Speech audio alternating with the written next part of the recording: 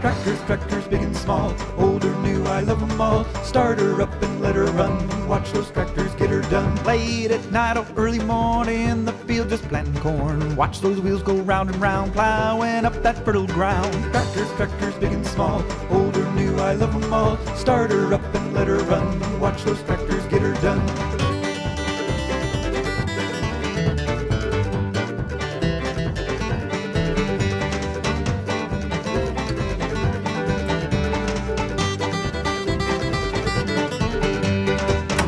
Big and small, old or new, I love 'em all. Start her up and let her run.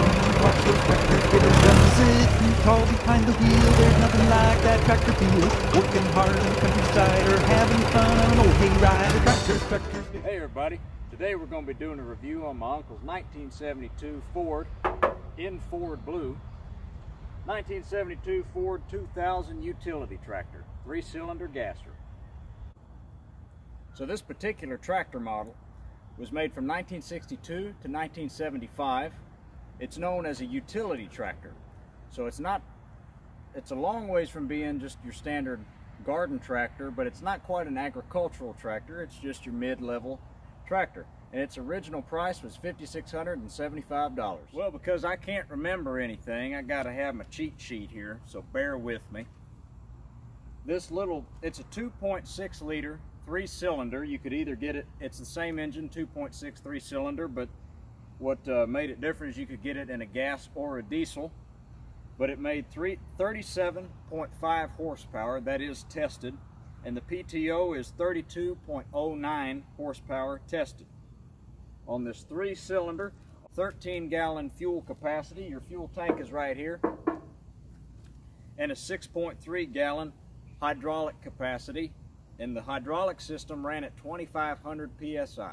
So back here, obviously we got a box blade hooked up at the moment, but this is your PTO shaft. Your PTO had an operating speed of 540 RPM, which is pretty good. That means it'll about knock through anything you got. And uh, it had very good gearing in low, first low. It would go nice and slow, and then it went all the way up to high, what is it, eight? Yeah, you had eight speeds in this thing with a two-speed uh, low and high. And uh, it'd go pretty fast and it would also the th the problem with people had with the Ford N series tractors is the first gear was really high. And so I think it was just one two three four. It didn't have low and high. And so first gear was too high and you couldn't really go through a field. It would just rip it up and and not uh, it would just turn it up and not actually penetrate as you needed. Where with tractors like this you have low and high speed and low you're just creeping along and in high gear you're going like the clappers, as the Brits would say. This is an N model tractor. My uncle also has this. It works perfectly fine. It runs great. I think it's got a four cylinder in it. But uh, the, the reason he got he retired this one is just because it wasn't quite doing what he needed to do. That's why he got that 72 model. But uh, this this N series tractor, it for being as old as it is, I think it's like a 48, I believe. I mean, it runs great.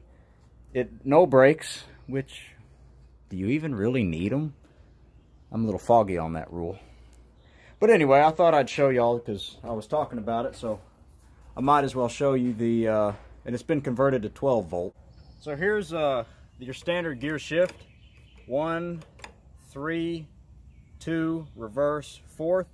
And then this little lever over here is your low and high. So you have your two speed, uh, we'll call it a transfer box I'm probably going to get eaten alive on the YouTube comments. And then this is your gear shift for your forward and reverse gears. So the weight on this tractor ranged anywhere from 3,770 pounds all the way up to 4,100 pounds. The 4,100 pound tractors were most likely your diesel tractors because diesel engines weigh more. And then your 3770 is most likely your gasoline. And, you know, it just depends on whether you had weights on the front or what sort of tire setup you had and, you know, stuff like that. But your uh, lightest tractor was 3770 and your highest, your most heavy was 4100. My buddy Adam, go subscribe Built Tough 1776. My buddy Adam's probably already had 47 heart attacks about these tires. They're not quite drag slicks, but they're getting there.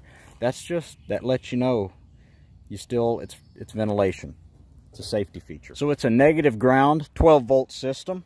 and it also holds five quarts of oil. You can either run 10W30 with a ZDDP additive, which is your zinc additive, or you can run 1540 diesel oil. You want to run zinc, something with zinc because it's all flat tappet.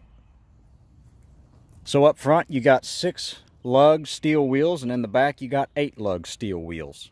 Let's crank it up and we'll move it around. What do you say? Check out this bumper. That's just the... Uh-oh.